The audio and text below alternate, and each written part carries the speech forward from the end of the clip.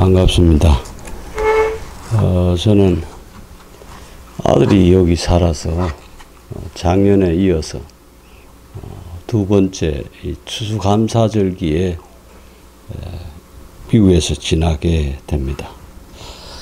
제가 느낀 점은 이 미국 사람들은 추수감사절이 우리 예, 추석이나 설날처럼 모든 가족들이 함께 모이는구나 하는 것을 느꼈습니다. 김상인 장로님, 예, 이상인 장로님이라고 하는 장로님 계시는데, 그런에 선친이 이영호 장로님이세요. 그런들하고 친분이 있어서 작년에는 이 추수감사절 날 초대를 받아갔는데, 미국 전역에 있는 식구들이 모이더라고요. 모여서, 어, 정말 우리 명절처럼, 우리 설날처럼 그렇게 지내는 것을 보았습니다. 오늘 목요일이 아마 추수감사절로 알고 있는데, 온 가족이 기도하고 철저히 준비하여서 하나님이 우리의 가정, 우리의 직장, 우리의 삶의 터전 위에 시절을 쫓아 과실을 맺게 하시고 푸른 초장, 맑은 물가로 인도하시는 축복의 감사절이 되기를 간절히 축원합니다. 신학자 본 해프는 그리스도인과 는 크리스찬, 그리스도인이 아닌 사람하고 이 비교하는데 구별할 수 있는 비결이 즐겁게 감사하면서 살아가느냐, 그렇지 않느냐에 달려 있다고 합니다. 그렇습니다. 그리스도인들은 감사함으로 하나님께 나아가는 줄로 믿습니다. 믿음으로 하나님께 나아가는 줄 것입니다. 감사는 우리의 삶을 풍요하게 하죠. 나 자신은 물론 다른 사람도 말입니다. 감사하면 하는 사람도 기쁘고 받는 사람도 기쁘고 보는 사람도 기뻐요. 사랑이란 말이 참 좋아요. 그러나 아무나 사랑한다고 그러면 잘못하면 빰 맞아요. 근데 감사는 남녀노소 누구에게나 해도 좋고 받아도 좋고 하는 거 보는 것도 좋은 거예요. 그래서 지옥은 감사를 모르는 사람이 모이고 천국은 감사하는 자들이 모이는 곳이라고 하지 않습니까? 감사한 만큼 여유도 있고 감사한 만큼 따뜻한 것입니다. 어느 곳에든지 감사를 캐낼 수 있는 따뜻한 마음들을 가질 때 감사는 생산되어지는 것이고 불평을 캐내면 불평이 나오게 됩니다. 감사는 주어진 조건이 아니라 만들어진 해석이라고 합니다. 부족하여도 감사를 잉태하는 자는 감사를 낳고 넉넉하고 풍부할지라도 불평을 잉태하는 자는 불평을 낳게 되어집니다. 여러분들이 한국 가신 지 얼마가 되는지 모르지만 한국이 최근래 정말 많이 변했어요. 서울 가면 저희들도 올라가면 전 울산에 사는데 갈 때마다 바뀌는 거예요. 여러분들은 찾기가 힘들 거예요. 자기 집이 서울에 있었다 할지라도. 그만큼 변하는데도 불구하고 한국이 고마운 줄 몰라요. 국민들이 감사할 줄 몰라. 제가 세계 여러 공항을 가봤는데 인천공항만큼 잘해놓은 공항이 없습니다. 그렇게 발전되었는데도 우리나라 고마울 줄 모르는 그런 것 같아. 참 안타까운 현실이 오늘 우리 현실이 아닌가 하는 마음을 갖기도 합니다. 어쨌든 감사는 소유가 크기 때문에 뭐 많이 가지고 있기 때문에 감사하는 것이 아니라 생각이 크고 믿음이 크기 때문에 감사하는 줄로 믿습니다. 믿음의 감사는 조건에 매이지 아니하고 정말 은혜에 감사하여서 살아있는 자의 마땅한 도리요 축복의 기초가 되어지는 것입니다. 그러기 하나님께 감사하십시오. 하나님은 선하시고 그 인자하심이 영원하실 줄로 믿습니다. 저는 아 그렇구나 라고 깨달아야 감사합니다. 감사는 받는 것으로부터 출발하는 것이 아니라 현재 은혜를 깨닫는 것에 감사의 출발이 되는 것입니다. 하나님이 우리 인간을 만드실 때 인간의 심장을 하루 10만 3,600여 회를 뛰게 만들다. 또 혈액은 1억 6,800만 마일을 달린다고 하는 거예요. 숨은 2만 3천여 회를 쉬는 거예요. 두뇌는 하루에 700만 개가 움직인다는 거예요. 이렇게 만드셨는데 내가 무슨 수고를 해서 심장이 움직이고 혈액이 달리고 숨을 쉬는 거 아니잖아요.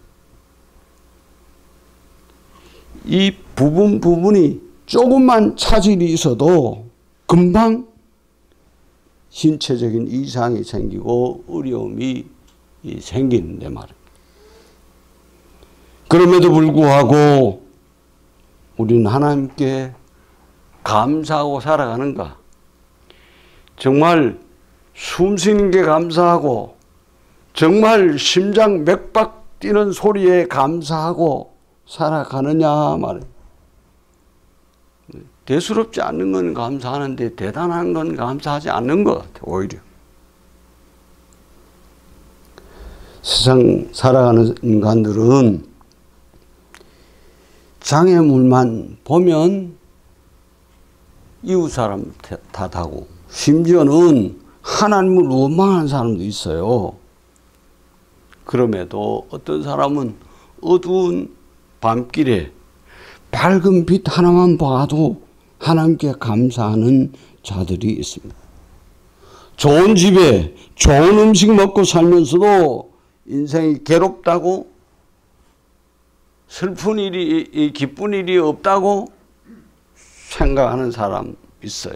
그런가 하면 비록 좀 기, 비좁고 끼니를 해결하기 어려운데도 불구하고 찬송하고 기도하고 사는 사람이 있단 말이에요. 그렇습니다. 사실 불평은 누구나 할 수 있어요.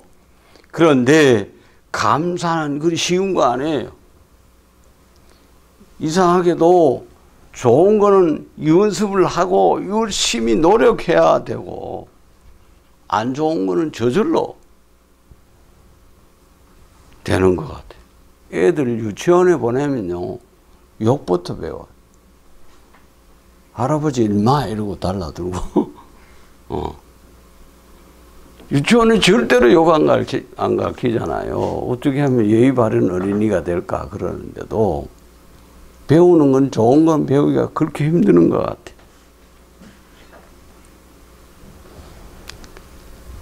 사랑하는 성도 여러분, 정말 오늘 우리가 이 감사를 깨닫는 성도들이 되시기를 간절히 축원합니다. 오늘도 이 목사님하고 같이 오면서 이 미국엔 감사절이 되면 칠면조 잡수잖아요. 그런 얘기를 하시더라고요. 어, 뭐 준비를 해 놓으셨는지 에, 한 마리씩 드릴지 모르겠어요. 왜 칠면조를 먹어요? 뭐 다른 고기 많은데 하필이면 왜 칠면조를 고집해요? 영국에서 신앙의 자유를 찾아서 퓨리탄들이 미국으로 왔잖아요. 가져온 씨앗을 뿌려서 나왔는데도 싹이 나지 않는 거예요. 막 풍토가 맞지 않아서 그랬을지 몰라.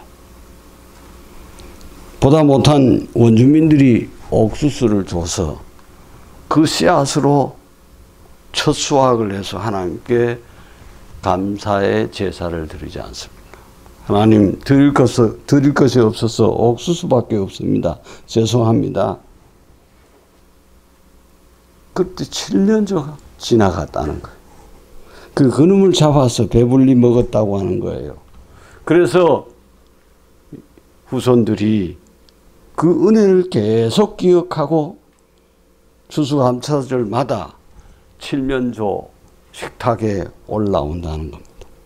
그렇습니다. 감사는 깨달아야 되는 거예요. 깨닫지 아니하면 못해요.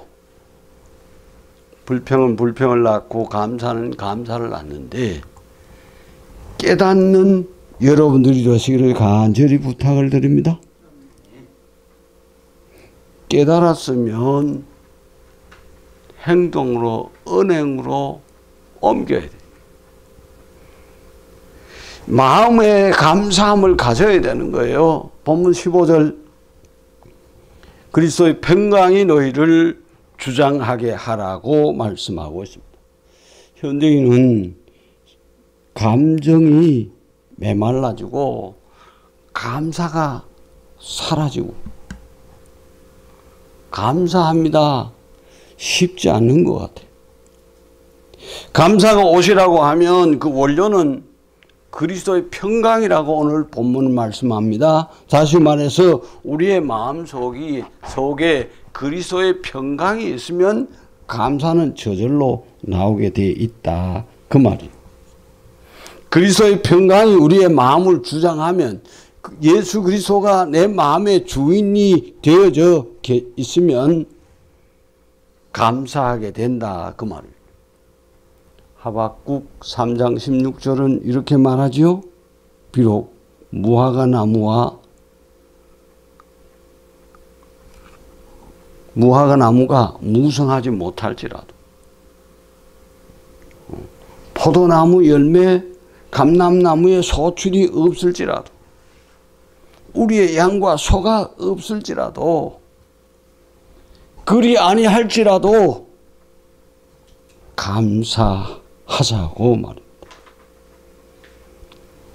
그리스도인들의 감사는 즉 내 기분에 의해서 감사하는 거 아니라는 거예요. 주님이 내 마음속을 주장하기 때문에 감사한다. 그래서 여기 말하는 편안하다 하는 것과 평강과는 개념을 달리 하는 거예요. 나와 여러분들의 평강은 영적인 본질이 세 가지 있는데 첫째는 내 죄를 용서해 주셨기 때문에 감사한 평안한 거예요. 죄에서 자유함을 얻었기 때문에 다리 쭉 뻗치고 자는 거예요.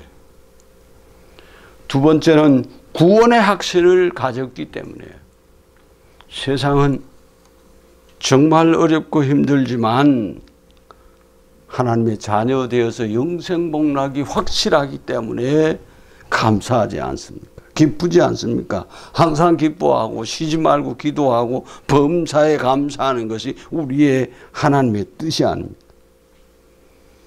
세 번째, 하나님의 이 영적인 일에 헌신하는 것이 본질이기에 우리는 그 평강을 누리고 믿음으로 살아 가는 줄로 믿습니다. 그러기에 그리스도의 평강이 여러분의 마음을 주장하게 하여서 범사에 감사하는 귀한 하나님의 사람들이 되시기를 간절히 축원합니다. 마음에 감사가 있으면 말이라는 걸 잊고 바깥으로 나오게 되어져 있어. 입술로 감사하게 된다고 하는 말입니다. 오늘 본문 16절이 그 말씀을 하고 있어요. 그리스도의 말씀이 너희 속에 풍성히 거하여 모든 지혜로 피차 가르치며 권면하고 시와 찬송과 신령한 노래를 부르며 감사한 마음으로 하나님을 찬송하라고 말씀하고 있습니다. 그리스도의 말씀이 너희 속에 풍성한 가운데서 감사하며 말씀에 부합한 감사를 하라고 말씀하고 있어요. 풍성이 거한다고 하는 말은 말씀이 우리 안에 편안하게 거하신다 그 말입니다. 말씀을 들을 때 편안하다 그 말이에요. 예. 말씀을 들을 때 은혜가 넘친다 그 말이에요. 하나님의 말씀을 감사로 받는 사랑하는 성도들이 되시기를 바랍니다. 교인들이 교회 와서 설교를 들을 때 여러 가지 마음들이 있대요. 어떤 사람은 둘이 둘이 살펴요. 그래서 맞춰 나가는 길에 집사님 집사님 왜 그 예배는 안 되고 둘이 둘이 살피냐. 아이고 목사님 설교가 박 집사가 들었으면 좋았을 텐데 박 집사 어디 있냐 찾아봐.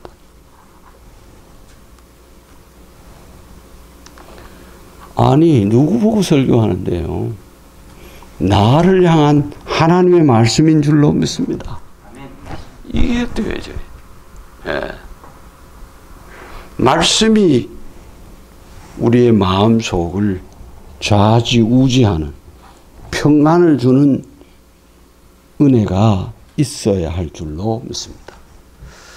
그러기에 모든 지혜를 모아 입술로 서로 가르치며 건면하고 시와 찬송과 신령한 노래로 하나님께 감사로 찬양하라고 오늘 본문은 말씀합니다. 노래는 부를 때까지 노래가 아니고 종은 울릴 때까지 종이 아니고 사랑은 표현할 때까지 사랑이 아니며 축복은 감사할 때까지 축복이 아니가 아니라고 말하지 않습니까? 표현하지 않는 감사는 감사가 아니라는 거예요. 며칠 전에 추수감사절 선물 상자가 핸드폰을 통해서 도착했습니다. 어, 저희는 고등학교 때 신앙생활을 같이 하던 동기생들이 그 전화기를 통해서 소식을 주고받아요.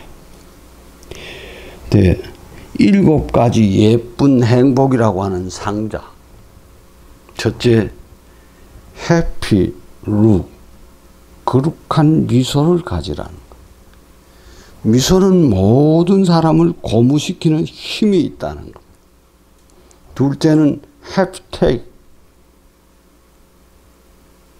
해피톡.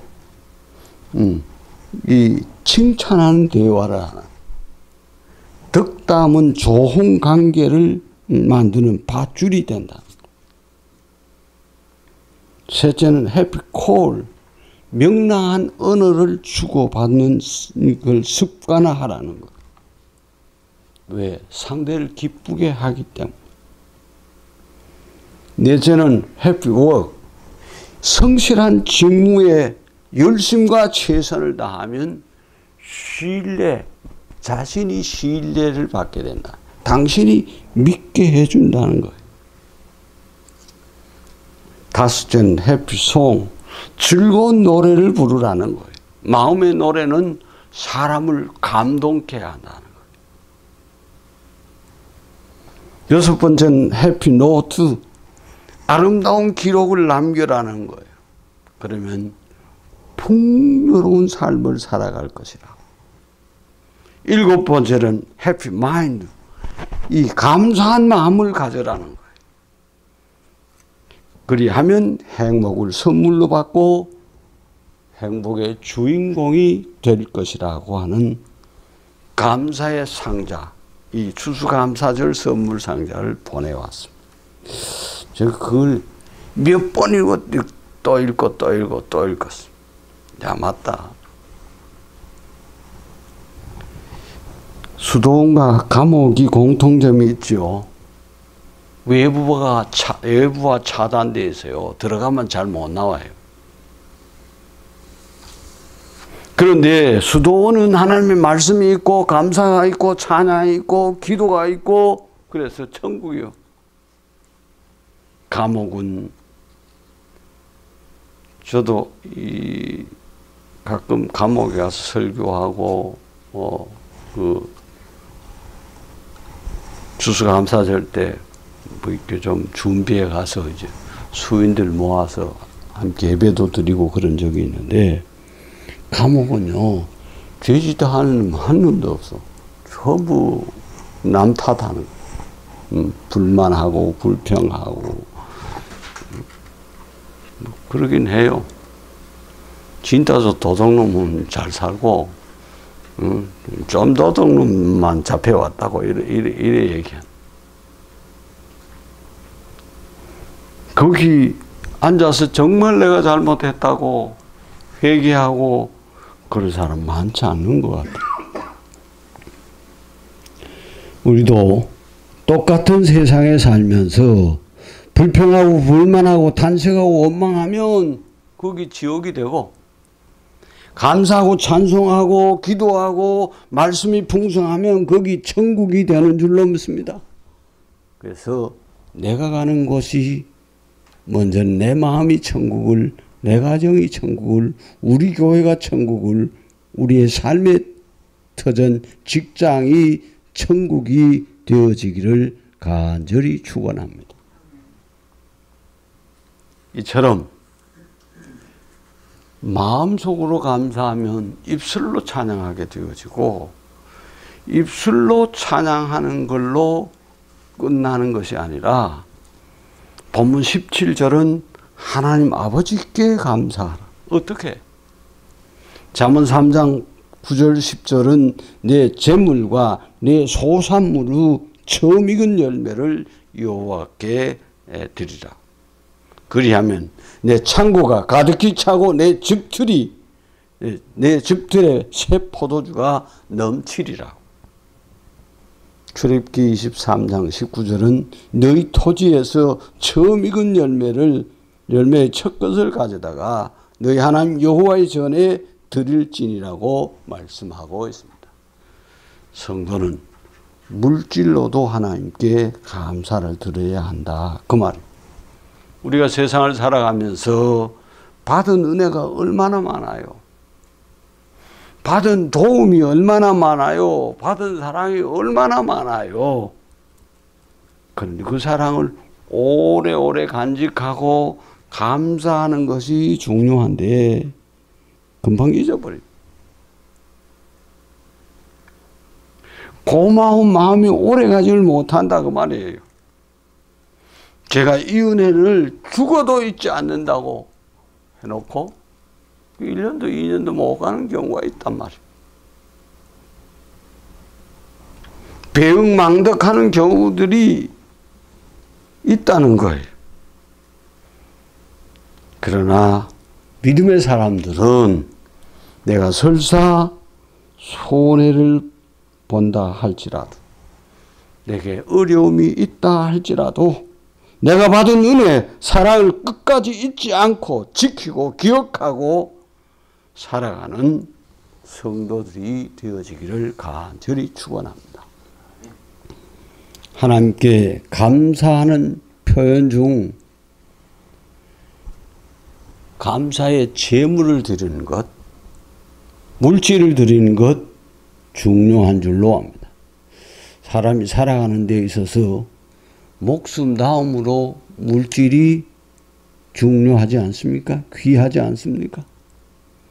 그래서 우리가 귀 여기는 물질로 하나님께 감사를 드려야 합니다. 물질을 드리면 마음도 따라가기 때문입니다. 그래서 마태복음 6장 21절을 말씀하죠. 내 보물이 있는 곳에 내 마음도 있느니라고. 그러므로 대개의 경우 물질을 안 드리는 사람보다는 드리는 사람이 마음을 다하고 정성을 다하는 사람이 신앙이 좋은 사람인 것 같아요. 제가 목회 경험상 예를 들어 목회하다 보면 1년에 한 번쯤은 헌금 설교를 해. 예. 또 절기 지날 때 절기 헌금에 대한 강조도 해요. 11조 설교를 하면 눈에 보여요. 11조를 잘 하는 사람, 12조, 13조 하는 사람들은 춤을 춰. 감사하고 은혜 받아요. 근데 11절 안 하는 사람 입이 만큼 나와. 어. 그리고 목사님은 맨날 헌금 강조만 한다 그래. 1년에 한 번만 하는데도. 이상해. 어, 제가 목회하면서 뭐 저희는 이제 현대 자동차 앞에 교회가 있습니다. 바로 건너가 예, 현대 자동차인데 예, 제가 부임하니까 교회가 예, 뒤에 있고 앞에 가게가 쫙 있어요. 그래서 하나씩 하나씩 이제 50평씩 50평씩 가게 하나씩 하나씩 이제 사서 다 넓혀가지고 이제 예배당을 지어 새 예배당. 우산에서는 제일 높은 예배당 8층 예배당을 지었어요. 그 일을 하면서 여러 가지 어려움이 있어요. 어떤 사람 교회 짓는다고 이사를 가. 예. 근데 이사 가는 교회에서 또 교회지. 또 이사 가나? 이렇게 하면 그 사람들이 어디를 피할 수 있겠어요? 한국 교회는 급성장했어요. 몇 년 만에 교회 또 짓는 교회가 많아요. 우리 교회도 제가 이 교회 짓는 게 뭐, 네 번째인가 다섯 번째. 역사는 40년밖에 안 돼요. 네. 그럼 10년 만에 한 번씩 짓는다는 거 아니에요? 그렇습니다. 정말 마음이 있는 곳에 물질이 있는 줄로 믿습니다. 여기 오신 어른들은 방송 선교도 관심이 있는 것 같아요. 방송 선교도 뭐 그저 저절로 됩니까? 장비가 보통 비싼 게 아니거든요. 예. 뿐만 아니라 수고하신 뭐 목사님은 흙파 먹고 사는 게 아니잖아요. 예, 여간 힘들지 않아요. 저도 울산에 있으면서 그 CBS 운영위원을 하면서 여러 가지로 어, 많은 일들을 감당하면서 어려웠던 그런 겨, 경험들이 있습니다. 여러분들 열심히 기도하시고 정말 하나님께 감사함으로 산 제물이 되시기를 간절히 부탁을 드립니다. 한 해를 보내면서 추수감사절을 지키는 사랑하는 성도 여러분, 하나님의 은혜를 손꼽아 보시자고요. 그리고 그 은혜를 잊어버리지 말고 감사합니다. 찬송할 뿐만 아니라 정말 몸들이 헌신하는 여러분의 삶이 되어지기를 간절히 부탁을 드립니다. 하나님은 오늘 또 우리의 모습을 보시고 은총을 베풀어 주시고 은혜를 깨닫고 찬미하며 신령한 노래하며 산 제사를 드리는 우리를 기뻐 받으시고 귀하고 아름답게 쓰실 줄로 믿습니다. 기도하겠습니다. 하나님 아버지 은혜를 감사합니다. 오늘도 저희들 불러주시고 귀한 말씀 주시오니 감사합니다. 주님 앞에 감사함으로 나아가게 하시고 주님 앞에 몸들이 헌신하는 산 재물들이 되게 해 주셔서 저희들 통해서 하나님 나라가 확장되어지게 하시고 하나님 나라가 이루어지는 역사가 있게 하여 주옵소서. 특별히 방송국을 사랑하셔서 정말 복음이 땅끝까지 이르러 전파되어지는 일에 귀히 사용하여 주옵소서. 예수 그리스도의 이름으로 기도하옵나이다. 아멘.